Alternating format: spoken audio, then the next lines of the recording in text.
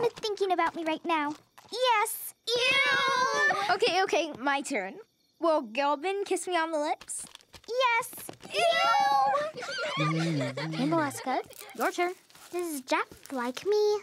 Aw, it says maybe. Aw, forget about him. He's not that cute anyway. Um, excuse me, lady friends. Are you guys talking about this Jeff?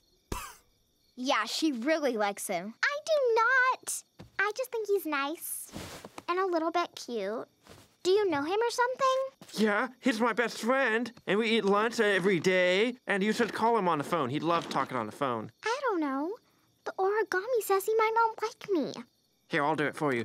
Five five five zero one zero one. No! No, no, no, no, no, no! Hello? Oh, You take it. No, way, you have, you to, have to talk. talk. This is like You your gotta- car. You gotta do it. Let me talk. Good evening. Hello, Jeff. Yes. Hi, this is. What was your name again?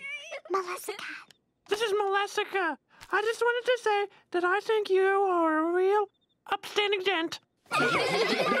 Oh my gosh, Melissa likes me, but something sounded off. All right, buddy. I just wish Clarence was here to see this. How did you do that? That was awesome.